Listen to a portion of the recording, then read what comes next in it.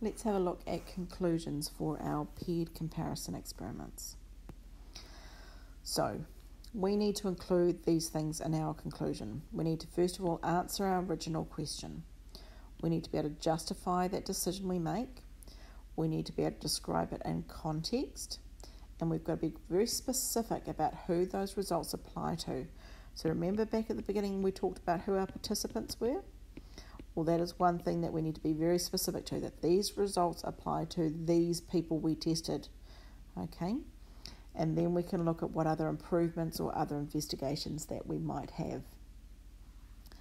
So, one of the things that we need to think about in, when we interpret this is because we randomly allocated pay, the participants to the treatments, could, with the results that we have seen, just be due to chance? So, is it just random that we've got the results that we have? Could that difference in medians just be a random um, probability? Or do we have enough evidence to say that the results tend to be higher for one of the groups?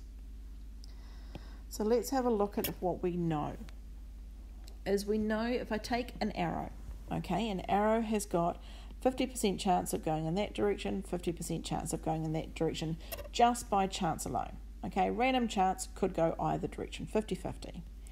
So it means that if my graph has about 50% of the arrows going left, 50% of them going right, then I could get results just due to random chance.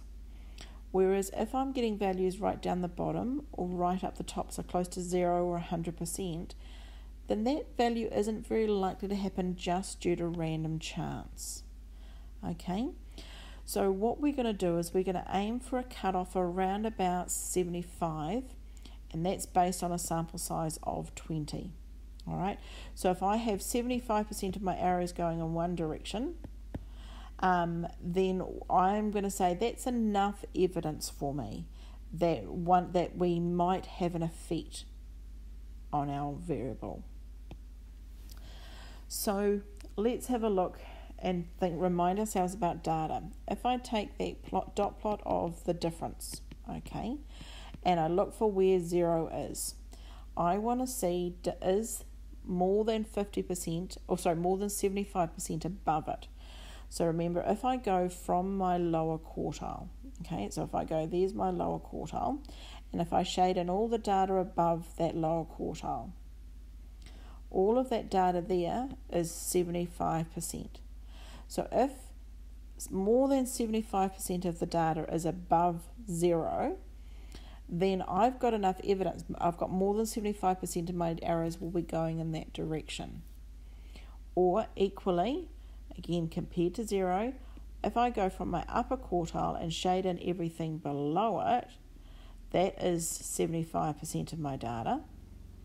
And so if I've got more than 75% of my data below zero or above zero, then I've got to have enough confidence, enough evidence to say that, look, maybe there is something going on. Now, just a little note that if you've got a smaller sample size than 20, then you'll need a percentage that's bigger than 75%. So you might need 80 or 85 or 90, depending on how small your sample is. So that's what we want to look for. So, in order to say that one variable affects the other, we need two things we need our experiment to have to been designed well. Okay, that's quite important. And the other thing is that we need is that the difference in the medians is large enough, and that's when we talk about that 75%. Okay.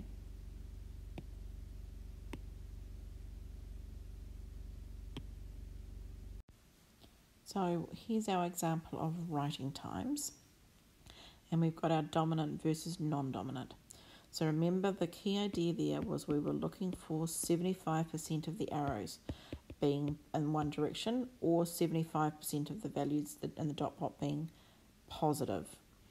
All right, so if I was to take my lower quarter, so I think about, well, first of all, think where is zero?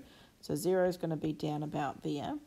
And in this case, if I draw my lower quartile, shade in everything above that, I can say, yes, more than 75% of my data is above zero, is positive. Or if I was to count how many arrows are going in that direction, well, in this case, 100% of my arrows are all going in that direction. So again, that's more than that 75%. And I've got sample sizes here of about 20 in each group. Um, and so that 75% rule works well for this. So, in terms of my conclusion, I can say that students who wrote with their non dominant hand tended to take longer to write the passage than students who wrote with their dominant hand. Okay, I've also can make a little, added a little comment there about the non-dominant hand times are a bit more variable. So my evidence for that is that the whole box is above zero. Okay, so in fact, 100% of the differences are positive. So that means I'm going to suggest that writing with your dominant hand has an effect on the time it takes to write the passage compared with using your non dominant hand. And I'm being very specific about my participants here for students in MAS2 at OEC in 2018. And because I've randomly allocated students to write with one or the other first, that means that supporting, I've designed my experiment well. Okay, so that's what I want to write in terms of my conclusion. Then I want to think about, well, what could I do to improve it? So, one thing I could do to improve is I could get students to write that paragraph five times. So, that means I'm doing repeating the experiment multiple times, and that will give me a more accurate estimate of how long it takes each student to um, write with their hand, dominant or non dominant. Some limitations. Well, my experiment was done with students at OSC. So it means I can only apply my results to those students in that year. So I can't assume that the results apply to any other students, so particularly ones that are younger or older than the students that I have in my class. And in order to show that younger students would have the same pattern, then I would need to do an experiment with them, with a group of younger people. All right. Equally, I could think about what other investigations this could lead me to do. So, if I did this experiment again, I could, for example, use a different passage, or I could write something in a different language. So, some other changes that I could make to, to change the experiment itself.